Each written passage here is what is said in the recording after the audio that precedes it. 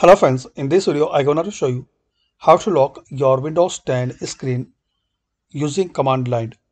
So firstly, click on start and type cmd.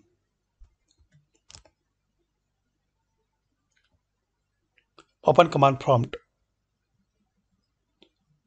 Now friends, in here you need to type this uh, command line run 1132.exe space user32.dll comma lock workstation so you need to type this uh, command line then press enter.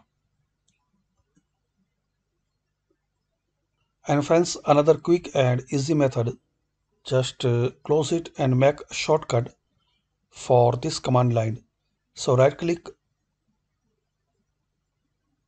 new and click on shortcut. Type this uh, location. Click on next.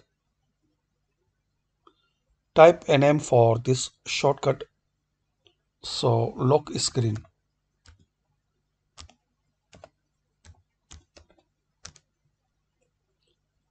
now click on finish. So when you need to lock screen using this command line so just open this uh, lock screen shortcut. That's it. So hopefully friends you like this video. Please comment this uh, video work for you or not. Thanks for watching